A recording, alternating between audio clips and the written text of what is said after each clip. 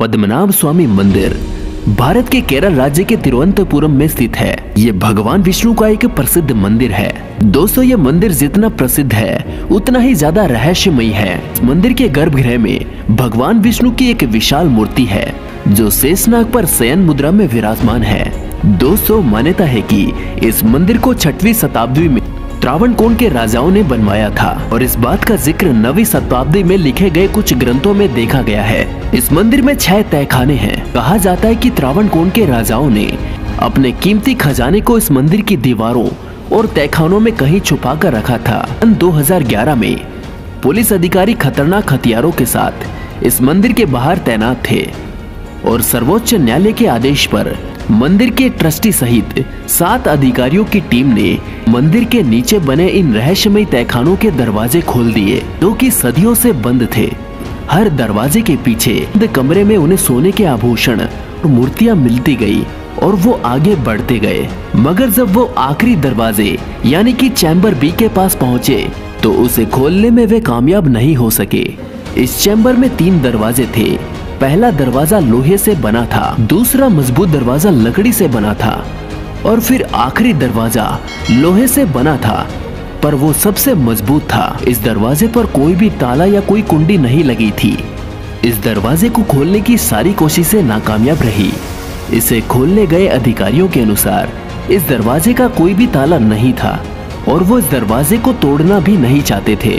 इसलिए वो वहीं से वापस आ गए लेकिन उनके वापस लौटने का कारण तो कुछ और ही था। इस दरवाजे पर सांपों के जो चित्र बने हैं, वो ये चेतावनी दे रहे थे कि इस दरवाजे को यदि खोला गया तो इसका अंजाम बहुत ही बुरा होगा। और ऐसा हुआ भी था। 17 जुलाई 2011 को पहले तीन कक्षों को खोलने के तीन हफ़्ते बाद ही टीपी सुंदर राजन, यानी कि वो शख्स, जिसने इन तीनों दरवाजे को खोलने की याचिका दी थी। पहले बीमार पड़े और फिर रहस्यमय तरीके से उनकी मौत हो गई। इसके बाद अगले ही महीने मंदिर के भक्तों की एक संस्था ने ये चेतावनी जारी की कि यदि किसी ने उस आखिरी कक्ष को खोलने की कोशिश की तो उसका अंजाम बहुत बुरा होगा। दोस्तों, कहा जाता है कि इस आखिरी दरवाजे को एक मंत्र से बंद किया गया है। इसे अष्टनाग बंद मंत्र कहा जाता है। और ये मंत्र क्या है, ये कोई नहीं जानता। और कोई ये भी नहीं जानता कि उस तहखाने में आखिर क्या रखा है। लेकिन उस कक्ष के भीतर जो भी कुछ है, वो एक मंत्र से सुरक्षित किया गया है।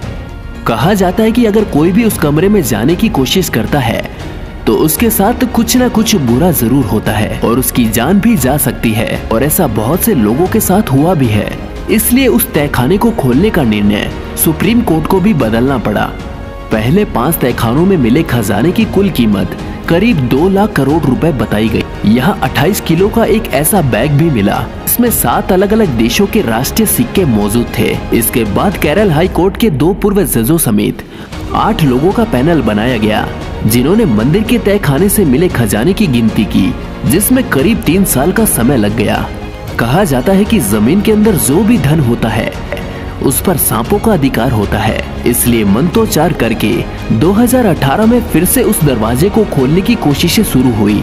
वैदिक साधना करने वाले कुछ साधुओं ने इस दरवाजे को खोलने की कोशिश की, लेकिन वे भी इसे नहीं खोल पाए। उसके बाद ये दावा किया गया कि अगर कोई तपस्वी व्यक्ति, जो कि भगवान विष्णु का परम भक्त होगा, वो इस दरवाजे के पास यदि गरुड़ मंत्र पढ़े तो ये दरवाज़ा खोला जा सकता है। 26 दिसंबर 2004 को केरल, तमिलनाडु और अंडमान निकोबार समेत कई इलाके समुद्र की चपेट में आ गए थे। लेकिन तिरुवंतपुरम के पद्मनाम स्वामी मंदिर को समुद्र की लहरें छू भी नहीं पाई। और वो भी तब जब ये शहर समुद्र के किनारे बसा है। और समुद्र से इस मंदिर की दूरी भी महज तीन किलोमीटर ही है। तरवन को राज परिवार की माने तो इस दरवाजे को खोलने से महाप्रलय आ सकती है। इसलिए इस परिवार सहित इस शहर के लोग इस तहखाने को खोलने के विरोध में हैं। ये भी कहा जा सकता है कि उस तहखाने के अंदर खतरनाक हथियार रखे हुए हैं। यहाँ तक कि महाभारत जैसे प्रसिद्ध ग्रंथ में भी इस बात की चर्चा की गई है कि देवताओं के पास एक से एक विनाशकारी हथियार थे। महाभारत ग्रंथ में ऐसे युद्ध की चर्चा की है। जो आज की साइंस फिक्शन फ़िल्मों में दिखाई देती है। इसमें ऐसे हथियारों के इस्तेमाल की बात की गई है, जिसके बारे में सुना तक नहीं था। एक ब्रह्मास्त्र अकेला पूरे ब्रह्मांड को खत्म करने की शक्ति रखता है। ऐसे हथियारों को नष्ट नहीं किया जा सकता था। ऐसा कहा जाता है कि इंसानियत की भलाई के लिए उन हथियारों को ऐसे ही मंदिरों के तहखानों में छुपा दिया गया। तो क्या ऐसा हो सकता है? इस मंदिर के चैम्बर बी के अंदर वो हथियार रखे हो जिसकी चर्चा महाभारत जैसे धर्म ग्रंथों में की गई है, या फिर इस दरवाजे के पीछे कोई ऐसा पेश कीमती खजाना होगा जो पूरे भारत की गरीबी को मिटा सकता है। इसके बारे में तभी पता चलेगा जब ये दरवाज़ा खोला जाएगा। दोस्तों, आपका इस बारे में क्या कहना है? ये दरवाज़ा खोलना चाहिए, या फिर वाकई में इसे खोलने से कोई महाप्रलय आ सकती है? हमें कमेंट करके ज़रूर बताइएगा। और ये वीडियो अच्छा लगा हो तो इसे लाइक और शेयर ज़रूर करें। साथ ही ऐसे ही वीडियोस को देखने के लिए हमारे चैनल को सब्सक्राइब करना मत भूलिएगा। जल्द मिलते हैं एक नई वीडियो के साथ। धन्यवाद। जय श्री कृष्णा।